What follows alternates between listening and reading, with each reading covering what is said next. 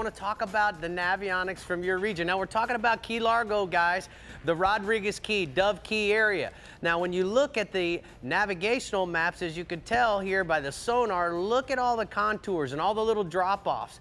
What the, the happens here with the bonefish is one, they gather on the high tides in and around Rodriguez Key, so you're gonna follow the tide up as the tide gets higher.